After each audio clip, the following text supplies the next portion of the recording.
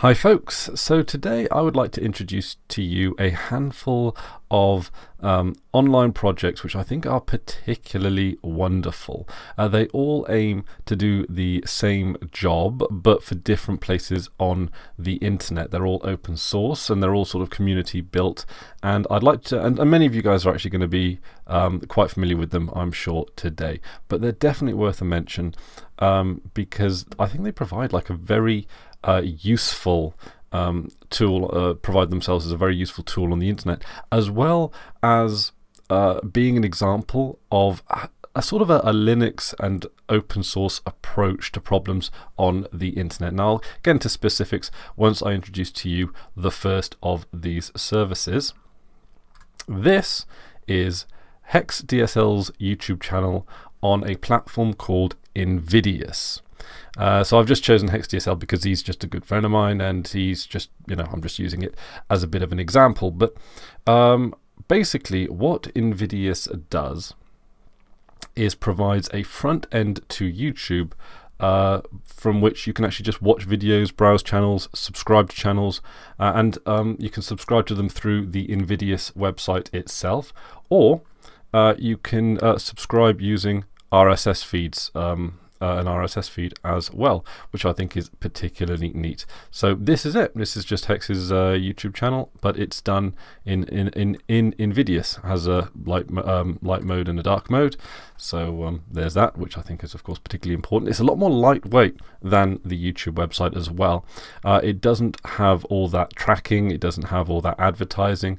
Um, and it just provides a bit more user freedom when it comes to browsing YouTube, which um, I think is really good. And I think there is a bit of a, a free and open source approach to um, to the problems that YouTube has given us in terms of that it's not exactly the most ethical service going. It's not exactly the most ethical piece of software when it when it tracks you and records so much data on you.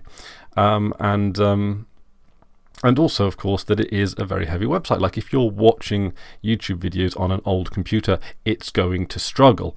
Um, and this is again, it provides a bit of an alternative. Now, I will say that there, you know, there is an ethical argument to be said that when you're watching uh, YouTube videos through the Invidious player, that you're not supporting the content creators um, by, uh, you know, watching their advertising or um, upping their watch time, which helps their videos get discovered on the YouTube algorithms and all that. You're not feeding into the YouTube ecosystem. Some of you will consider that a good thing, but also because you're kind of doing it without the content creator's consent, um, it can be seen as a little bit of a, of a you know an ethical grey area there but that's going to be one I'm going to leave up to you for what it's worth folks if you do want to watch my videos through Invidious which you can do I'm perfectly fine with it I you know freely give my consent there um, but you know you know do it in the in the in the knowledge that like you know watch time on YouTube um, does contribute to, to videos getting watched and discovered.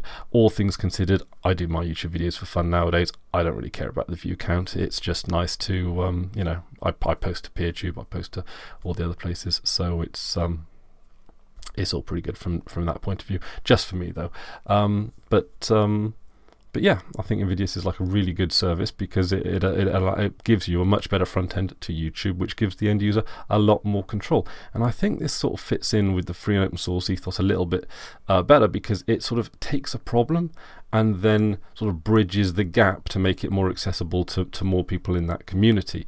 Um, it's not like um, in other sort of facets of technology where the community will just stamp their feet and start yelling until their platform is supported or until something comes to, to them. We in sort of the Linux space and the open source space actually will go out and we will bridge the gap. We will make things compatible with our way of doing things. Another good example is Wine for playing video games on Linux. It's like, yeah, we're not going to um, wait for all of these video game companies to actually sort of start porting games to Linux. We're a small market share. It's unlikely to happen, especially in uh, profit, you know, in your more profit-driven models of making computer games. So we're going to bridge the gap. We're going to build some open source software, which then, um, you know, makes games that are not made for our platform available for us. And it gives most users the most freedom because it gives the developers the freedom to develop on the platform that they choose to, de develop for. And it gives us, uh, end users here on Linux, the, um, the option of playing on the platform that we want to play it with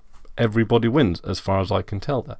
Uh, and this is a little bit with with Invidious um, because it's like yes, you know, the end user gets to watch videos in a more um, you know sort of in a more favorable environment, and then the um, the content creator doesn't you know they can upload to, to YouTube as they see fit. Uh, it's you know it might be more suitable for uh, for for getting views for, for their videos. Uh, it might be that it's not exactly practical for, for us to sort of ask all of these content creators on YouTube to actually start posting to places like PeerTube and other video sharing platforms as well. So this again it provides a bit of a bridge. It provides a bit of a middle ground, and I think that's really quite good. So, uh, leaning into that, uh, I'm also going to demonstrate to you Bibliogram, which does a very similar thing but here on Instagram. Um, so it's a very simple um, interface here.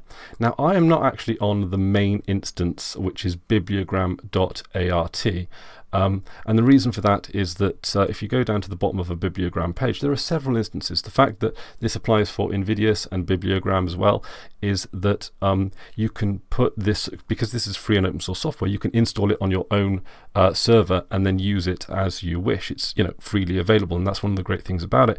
And it's not just you don't have these one instances.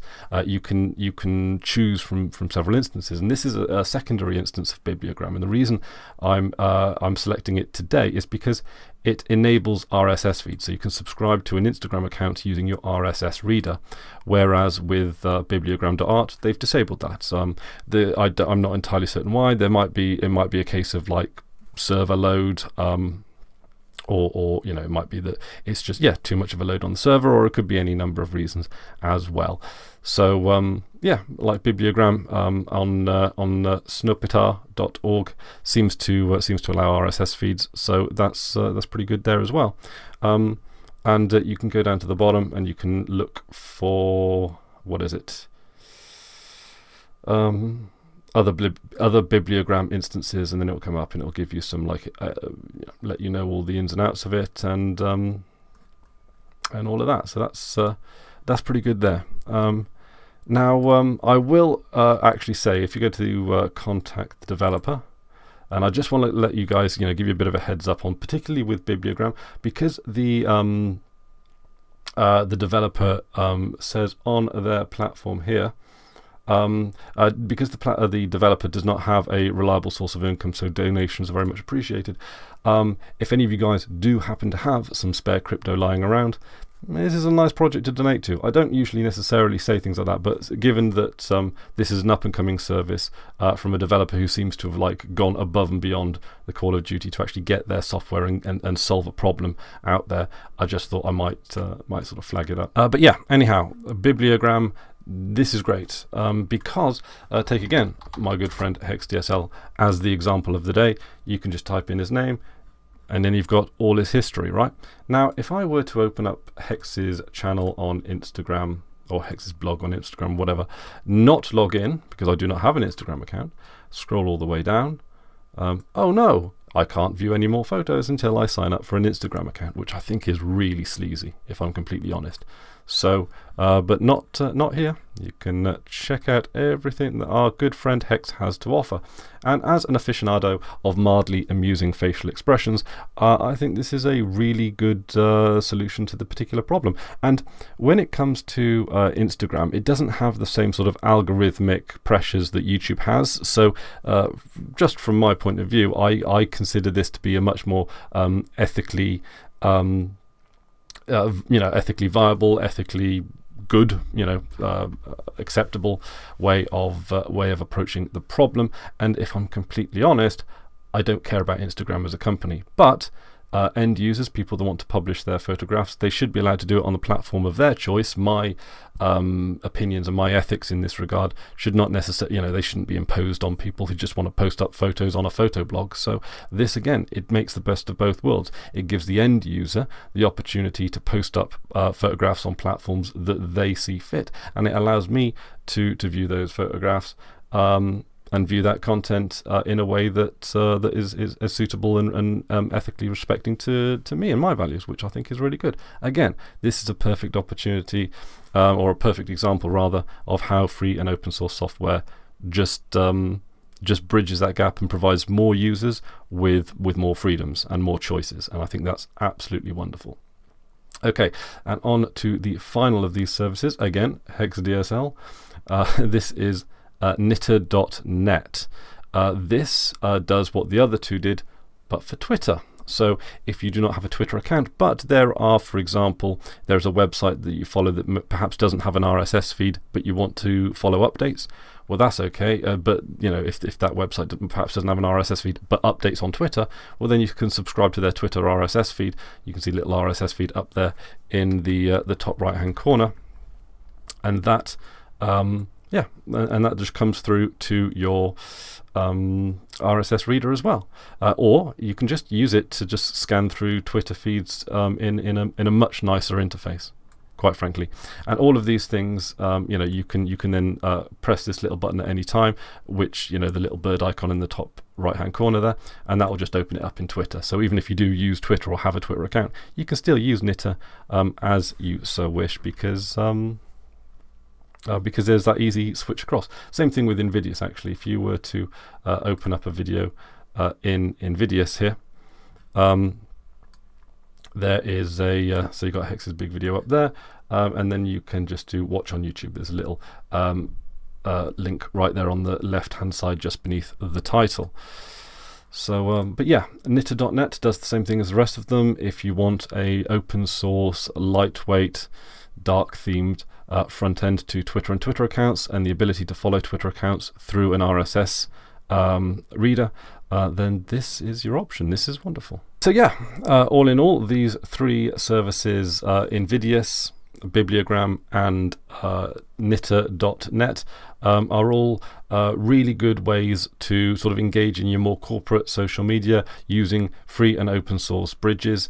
Um, and and I, I, think that is great. And um, yeah, allowing your content creators to publish in a way that that suits them um, and also viewing content in a way that suits you. I think everybody wins here because the thing is, is that you know it, it isn't always um, a great thing to st- sort of be, you know, stamping your feet and evangelizing people do the way, um, do things the way that you see fit. When um, you know, there could be very good reasons for uploading to YouTube. It might be the case that they, they don't know what PeerTube is. They don't know how to, um, you, you know, like uh, they don't know what instance to upload to, and you know what the various policies are for each of, of, of the variances, various instances that PeerTube might offer. For example, you know, when when you start getting into these kind of uh, technical solutions, it does require a little bit more application. And if you're just a content creator that just wants to upload cooking videos or something, then you know it's it's not really fair to put huge amounts of pressure on these people when they are just a you know they're, they're just sort of following suit with with everyone else. We can't expect everyone to go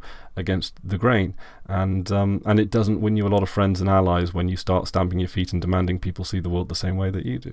So um, so I think that this is a perfect example, or these are three perfect examples, with how free and open source software provides more users with more freedoms.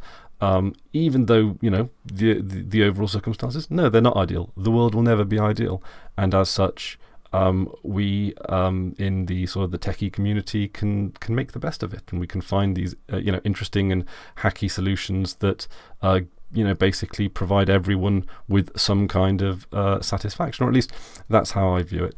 Um, you know, there's there's not really uh, much to be gained with um, you know, ideological purity and um, and inflexibility, and, um, and you know, like basically these open source solutions, they allow us to use the server space um, of, of of various corporations without actually having to feed into their data ecosystem, and I think that's a good thing. So um, you know, it's um, I like it. It seems like uh, some some really good services that that um, that solve some some um, meaningful problems that I find. So um, let me know what you guys think down in the comment section below. And um, yeah, that's about it from me today. Until next time, I've been Chris Were, and you've been awesome. Take care now.